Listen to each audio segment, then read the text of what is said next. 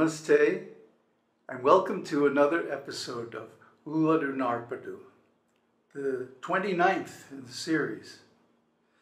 This one follows very closely to the previous verse, which you should also take a look at before, uh, if you haven't already seen it. Having discarded the body like a corpse, and without uttering I by mouth, scrutinizing with an inward diving mind, where does this feeling I arise? Is alone the path of knowledge, jnana marga. Merely thinking or meditating, I am not this body composed of five sheaths. I am that, the absolute reality or Brahman is in a roundabout way an aid to the path of knowledge or inquiry. But is it really correct practice of self inquiry, Atma Vichara, the direct path of knowledge? No. and why is that? Because, as my Buddhist meditation master once said to me, Nibbana is non conceptual. Boom. It hit me like a ton of bricks. I instantly went into deep meditation. it took me a year and a half to work out the consequences or the deep meaning of that. And similarly, when Ramana gives an instruction like this, it should hit us really hard because what have we been doing? Reading books, going to talks and lectures, maybe going to workshops, maybe sitting in meditation and just thinking, huh? I am that, I am that. I am not the body. Huh? The very first thing my Adi Guru taught his disciples is, you are not this body. Did any of them realize it? Because we see them later on competing for positions of power in religious organization, trying to make money by hook or by crook uh, to shore up their positions in a religious organization and to, to purchase name and fame and disciples. So, what kind of realization is that? Why didn't they get it? Because they were in the realm of thought. Thinking, I am not the body, is very different from realizing, I am not the body. So I know what you're going to say. Well, how do you do that? the Buddha gives the eight jhanas, eight platforms or bases of meditation. And so by going into these bases one by one, they become subtler and subtler until one completely forgets about the body. The first one is directed thought. And the second one is directed thought without words. And so on and so on. And they get really subtle like the fifth jhana is unlimited space. Now, if you really realize unlimited space, uh, well, where is this body? the whole universe shrinks down to a tiny dot and then disappears, lost in unlimited space. Because no matter how big the creation is, it's still limited. And unlimited means unlimited. So in unlimited space, the creation I mean, can't even be found. Then what? Unlimited consciousness. Well, of course, that's Brahman. But a funny thing happened on the way to the meditation hall. if you actually realize unlimited space, emptiness, no thingness, what's going to happen? Brahman is going to manifest in the middle of that. Why? It's a rule, it's a law of the universe, of consciousness, of existence, that when you take something to an extreme, the opposite manifests. So if you take emptiness all the way to the point of nothingness, what happens? You get everythingness or Brahman. So, this is the extraordinary thing about the Buddha's path. It's not really different from the Vedic path at all. In fact, the whole teaching of the Buddha fits very nicely in the category of Raja Yoga. Because what is the ultimate in Raja Yoga is the destruction of the mind and ego. And I don't think you can find a better method or approach to it than the one taught by the Buddha. The final stage, the highest jhana, is neither perception nor non perception. It's a really tricky one. I'm not going to try to describe it here. I already talked about it in the earlier series on Nibbana. So you should take a look at that if you're curious. But to get rid of this idea of I as an individual ego is the whole point of meditation. So if you come out of meditation, uh, sitting in your Zendo or whatever, and then you're going out in the world trying to make a name for yourself, trying to collect money and followers, writing and selling books, and after name and fame, huh, giving interviews, and so on like this. What is that? Huh? That means you haven't realized it. Because if you really realize non self or the destruction of the mind through emptiness, you're just going to sit around and like bliss out. There's nothing else to do. Why? For who? You see? So these people who, you know, sit down and meditate for a few minutes and then go run around with an active social life and business and all that are just fooling themselves. They're simply saying, I am that. I am not the body. I am not the mind. I am not this ego. But they're not realizing anything. Why? Because they're stuck on the conceptual platform, the verbal platform, the mental platform. And on the mental platform of name and form, the name or the word is the thing. But when I started this series more than five years ago, this YouTube channel, I was coming from being in a faith based process for over 20 years. And it just didn't work. The reason it didn't work was precisely this that we were not getting beyond the name and form. In fact, we were encouraged to cling to the name and form. In dualism, dualistic philosophy is like that. But it doesn't bring self realization. So I said, wait a minute, I'm going to start my search all over again. And this time, instead of basing it on faith or information or verbal knowledge, I'm going to base it on experience.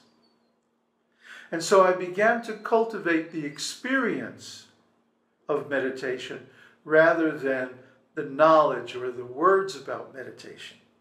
It makes all the difference in the world. If you're not getting this, if you're having trouble understanding what I'm talking about, look up phenomenology. Phenomenology. It's a very uh, closely allied discipline to existentialism. Existentialism is about what is, and phenomenology is about experiencing what is. Not what I think it is or what somebody said it is or what it's written in this book that it is, but what it is, how I experience it. And that is the only platform, although it may be slower in the beginning, that's the only platform that leads to actual realization. Now, what does he here say? Where does this feeling I arise? Not the word, not the concept, not the idea of I, but the feeling I, the feeling of egotism. What is it? You have to look into it for yourself. Nobody can tell you because it's an experience. You know, like I could have an ice cream cone here and I'm going, mm, mm, yeah, this vanilla ice cream, vanilla is my favorite. This vanilla ice cream tastes really, really good. But are you going to experience that from my description? No, it's impossible. So the real path, jnana marga, huh? not vidya marga. Vidya is verbal knowledge. Jnana is experiential knowledge, phenomenological experience, where one is aware of one's awareness. So he says, merely thinking or meditating, I am not this body composed of five sheaths. Huh? The Annamaya Kosha, the Manomaya Kosha, the Vijnanamaya Kosha, and ultimately the Anandamaya Kosha. These different sheaths. I am not this body, I'm not this mind. Then what am I? Well, what's left? Only pure consciousness.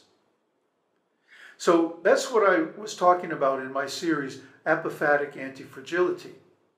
That the Buddha was teaching something by not talking about it. He was teaching something that could not be spoken about. So he didn't speak about it. Instead, he spoke about the way to experience it. And if you're awake, if you're thinking, if you're intelligent, then by doing those methods, you would experience it and you would recognize, oh, this is it. So, Nibbana, or as Ramana calls it, the self, as the Vedas call it, Brahman, is a real experience. It's not a thing because it does not come into being. If it came into being, if it had a beginning, it would also have an end. So Brahman, or the self, exists outside of time.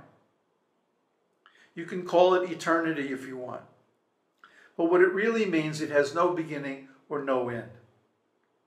No boundaries whatsoever. No divisions. It's one without a second.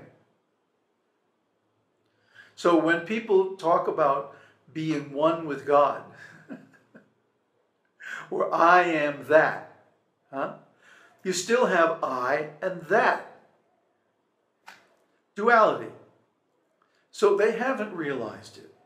Because if they had realized it, like Ramana, they would be saying, I, I, not I am. Because I am requires a predicate. I am that.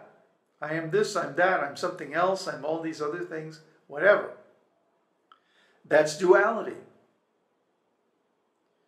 But real non duality is I, I. I am I. Whatever that is. so, to think that I am not this body, I am not this mind, this is a very indirect, very preparatory stage. It's just the theory, it's not the practice. So if you're sitting there and trying to meditate and you're just thinking, neti, neti, I'm not this, I'm not that, or I am that, huh? That's, you're not there yet. That's not the right way to do it. The right way to do it is to say, okay, set aside all those words and just sit there and do nothing and feel where is this I coming from? And if you trace it down to its source, you know, I'm going to go a little over time because this is a story well worth telling. In the beginning of the creation, as described in the Vedas, Brahma found himself seated on a lotus flower. And all around was this churning ocean, as far as he could see. And so he's trying to understand what am I doing here? What is this? Where did I come from? What am I supposed to do?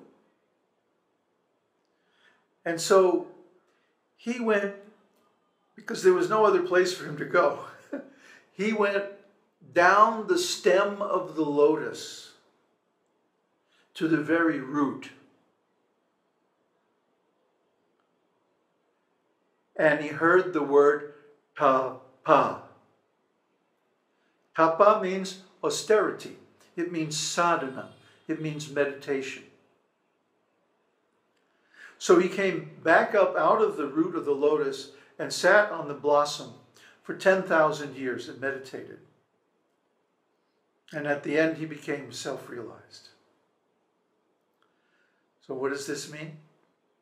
I was just reading in the commentary of Shankaracharya's Sri Dakshinamurti Stotram that in the spine, according to the yoga system, there are three channels the Ida, the Pingala, and the Shushumna. And they are on the left, the right, and the center of the spine, respectively. And then I found the remarkable statement that the thousand petaled lotus, the Sahasrara chakra, is linked to the root of the spine, the Muladhara chakra, by the stem of the lotus, which is the Shushumna. So, in other words, the story given in the Puranas is actually an allegory, a metaphor. It is we who are seated on the lotus and it is we who have to go down the stem to the root to find the source of energy. And it's not Brahma, it's we who have to sit contemplating that energy wordlessly for as long as it takes to reach full realization. Om Tat Sat. Om Harihi Om.